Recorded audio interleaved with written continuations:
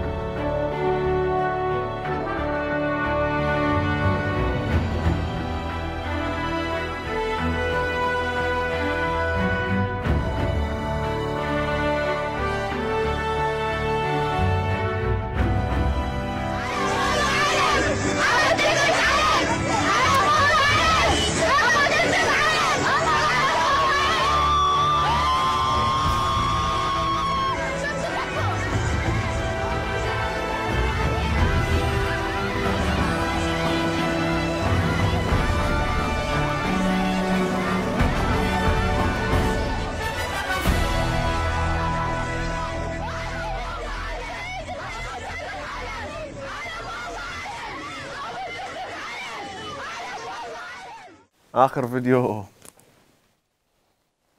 كل ما تشوفه تنزل دموعك. أكو أكو سؤال نسال بالاشكاليه أول فاتت. ويا ما نشوف هاي الدموع اللي قاعد تنزل ويا كل مقطع فيديو بشيء عظيم سجل التاريخ. وهاي الدموع اللي بللت العالم العراقي والمشاعر لما تشتغل أغنية وطنية. وهذا الاتحاد العظيم بين العراقيين. السؤال هو هاي صار؟ وين كانت هاي الروح الوطنية؟ هاي الطفلة ليش دا تبكي وهي تسمع النشيد الوطني؟ شنو؟ أول مرة تسمعها؟ هذول ليش دموعهم غرقتهم لما انطبوا للتحرير؟ شنو؟ ما شايفين عراقيين. ذولا بذيقار والنجف والبصرة وكربلاء والأمارة والديوانية والكوت وديالة وباقي المحافظات شبيهم ليش هيك طالعين؟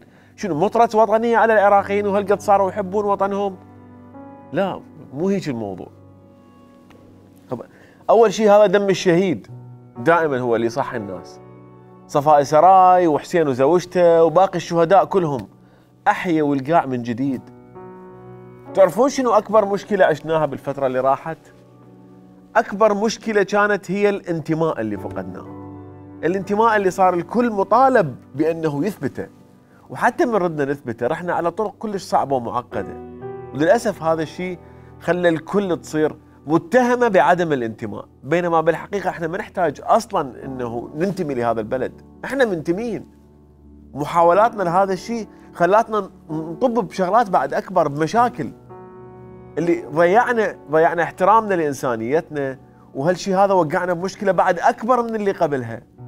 محاولاتنا خلتنا نقدم تنازلات وراء تنازلات ونرضى بكل شيء. وفوق هذا كله قمنا نخسر شبابنا لأنه ما ندير بال لأنه تعودنا.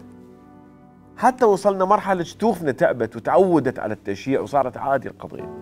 وصار الحزن هو الإحساس الطبيعي بهذا البلد. حتى قمنا نخاف نفرح أو نستغرب لما نفرح. مو بس هاي المشكلة الأساسية أكو مشكلة بعد أكبر. بالطريق الصعب اللي مشينا به هواية من شبابنا قاموا ينتمون لكل من هب ودب على مود يثبتون انتمائهم ومحبتهم لهذا الوطن. عصائب كتائب سرائب ما أعرف إيش أي دايح من هاي الدايحين. حتى لو كانت الطريقة غلط مو مشكلة بس المهم أريد أثبت. استمر الوضع إلى أن جت المظاهرات هاي اللي كانت بمثابة صدمة كهربائية شحنت الروح الوطنية عند الكل وصحتنا من غيبوبة كنا عايشين بيها بسبب فقداننا للانتماء. مو إحنا فقدنا هم السبب. وهذا الفقدان صار بسبب هواية أمور أهمها دين ما له علاقة بأي دين. دين يبرر على مود السياسي. دين بمصالح تجارية. دين منين ما تجي يجيك. وبالأخير تحالف ويا السلاح والمال. وهذا الثلاثي الخطر اشتغل على الانتماء للوطن بكل قوته الإعلامية ومنابره وسلاحه. كل شيء يسوي إلا شغلة. لا تصير عراقي. ترى نلعب بيك طوبة. هذا الثلاثي قادنا للجهل والفساد. وفهمنا أنه السقوط الأخلاقي هو باللبس والشرب مو بالخيانة والعمالة وقتل الأبرياء وظلم العالم.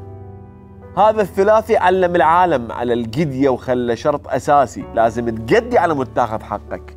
ومن تتجرأ على مود حقك فأنت مدفوع لو متآمر. لا أنت أكيد تشتغل ويا سفارة. أنت بعثي. وهسه الجديدة إذا صغير أنت فأنت ابن بعثي. بعد كم يوم يقول لك والله جدك كان بعثي وعلى مود تخلص من هاي التهمة هاي ما راح تخلص هاي. فعلى مود تطالب حقك لازم تتوسل على مود يشمروا لك لقمة صغيرة من أكلك اللي هو مالتك. لحد هنا العالم ضاجت. يوم طائفية يوم داعش يوم مؤامرة خلصت الأعذار. العالم ملت.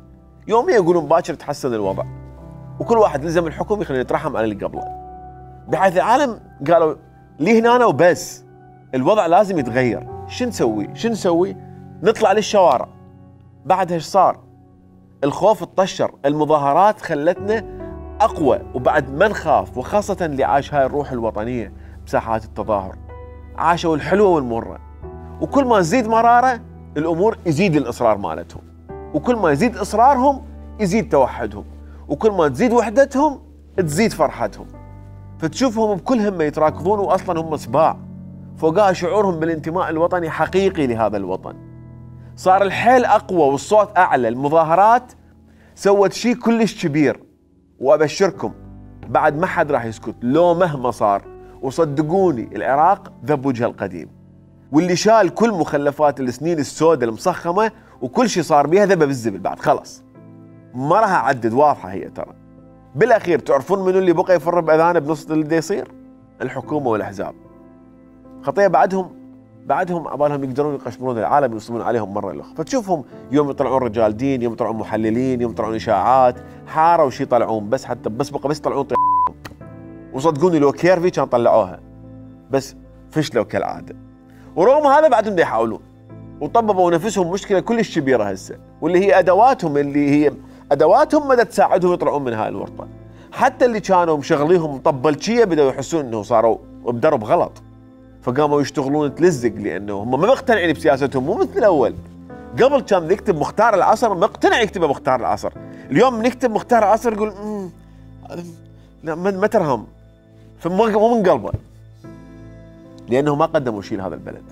فبياس خام وجه يطبلون وهم أصلا لو قدموا شيء ما كان انتفض عليهم هذا الشعب هاي القوة هاي بطرق صدورهم وبالمنجنيق على قولة عادل عبد المهدي. فلا عادل عبد المهدي ولا غيره من الديناصورات اللي موجودة حاليا واللي تحكم راح تفتهم هذول الشباب. نقطة أخيرة. هذا الشعب اللي انتفض انتفض رغم سلاحكم. هذا السلاح اللي كان المفروض يحمينا مو يخوفنا. سلاحكم كان المفروض يكون للأمان مو للتهديد. خططكم الاستخباراتية كان المفروض لحماية المواطن مو على مود تخطفوه. ولا عم تهددون اللي انتخى وجاب اللي عنده وما عنده لاخوته المتظاهرين من أكل وبطانيات وأدوية. فهذا سلاحكم صار جزء من المشكلة. ولو إحنا نعرف من قبل هذا الشيء وكنا نحكي به دائما. بس هسه صار واضح للكل. سلاحكم له سعر. السلاح اللي له سعر هذا سلاح مأجور. وسلاحكم مو لحراسة الوطن. سلاحكم لحراسة مصالح الدول المجاورة.